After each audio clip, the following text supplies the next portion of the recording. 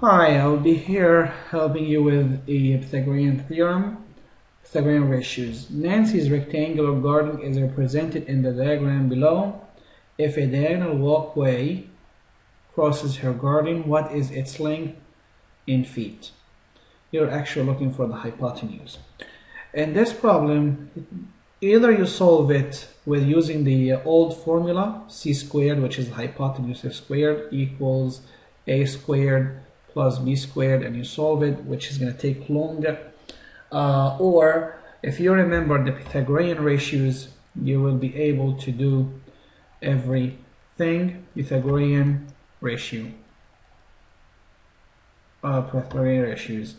Pythagorean ratios let me just review it here for you so you can have them for your uh, reference and for any further um, uh, for any further work with Pythagorean theorem, you always think about those three ratios here. Always think about them.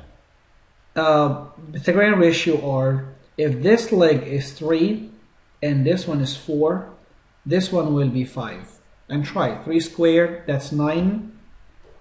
4 squared is 16.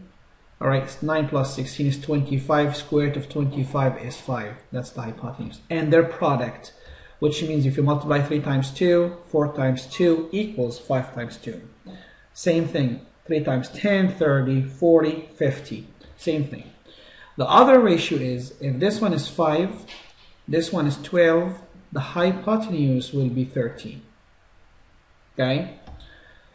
The last one is, if this one is 8 feet, or 8 inches, 8 centimeters, this one is 15, the hypotenuse is 17. Those are the three ratios you need to memorize um, for any Pythagorean, uh, for any right triangle. If you have one leg 8, the other leg 15, therefore the hypotenuse is 17. And that's it. So the walkway is 17 feet. That's your final answer. Work well.